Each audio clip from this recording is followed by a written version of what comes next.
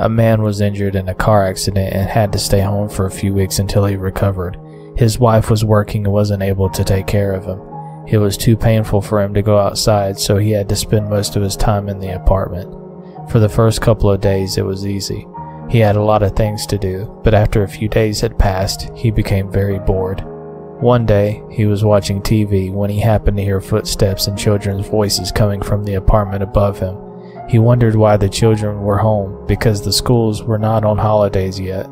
The next day, he heard the same footsteps and children's voices. It sounded like there were two children playing. The next day, the man grew even more bored and didn't feel like cooking lunch for himself. Instead, he ordered a pizza delivery. As it turned out, he ordered too much, and when he finished eating, there was still one whole pizza lying untouched on the kitchen table. He remembered that there were some children living in the apartment above him, so he decided that they may like a free pizza. Upstairs, and willing to do something kind, he decided to take the pizza to them. The man had never met the family who lived in the upstairs apartment, but he rang the doorbell anyway. There was no answer, even though he heard someone moving about inside. He rang the bell again and noticed that someone was peering at him through the peephole. Who is it? called a faint woman's voice from behind the door. The man explained that he lived in the apartment below and had some leftover pizza from lunch and wondered if the family wanted it. The door opened slightly and the man could see part of the woman's face through the gap. He noticed that it looked unusually dark inside the apartment, Thanks, but we don't want any. said the woman coldly. Maybe your children would like it, replied the man. As soon as he said this, two children's faces lined up below the woman's face. The door was open still just a crack. The children stared at him. The three faces were forming a line, Okay, give it to me then. said the woman. A hand reached out through the gap and snatched the pizza box. The man just stood there. The three faces were still staring at him. Then the door slammed shut and he walked away. Something was bothering him.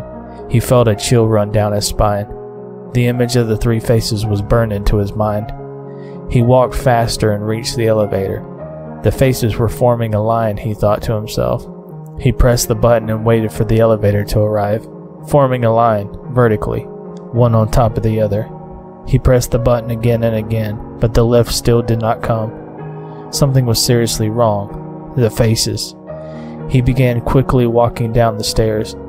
Faces lined up, on top of each other. That's impossible. He frantically ran down the stairs. No bodies. Finally, he reached his apartment door. Just hands holding up the heads. Safely inside his apartment, the man picked up the phone and called the police.